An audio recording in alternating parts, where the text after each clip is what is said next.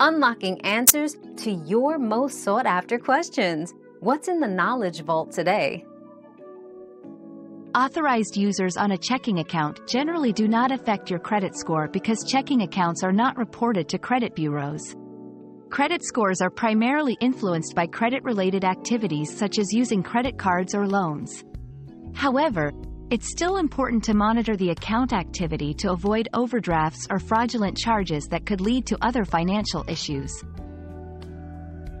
We've quenched today's curiosity, but there's always more to learn. Keep the curiosity alive by subscribing and joining us for our next adventure.